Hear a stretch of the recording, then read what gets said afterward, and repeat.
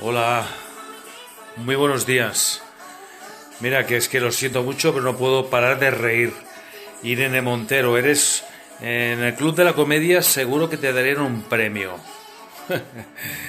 Estaba viendo vídeos antiguos de la Irene Montero, esta ministra de no sé qué, la verdad que no sé qué, la ministra sin cartera, eh, hablando de portavoza, la portavoza, ¿no? O sea, eso de portavoza suena como si yo dijera, eh, no, es que yo soy futbolista, yo soy futbolista, portavoza, pero no os da vergüenza.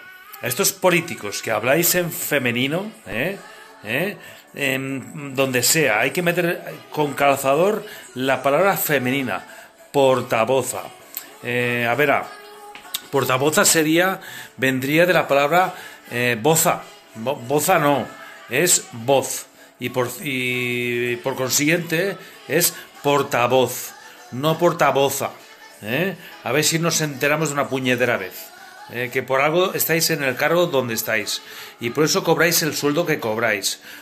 Para por lo menos tener una mínima educación, educación y conocimientos.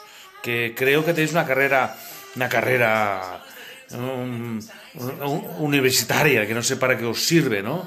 Portavoza, no por favor, por, por favora, por favora. ¿eh? Es portavoz. ¿eh? A ver si nos enteramos. De guapas, guapas.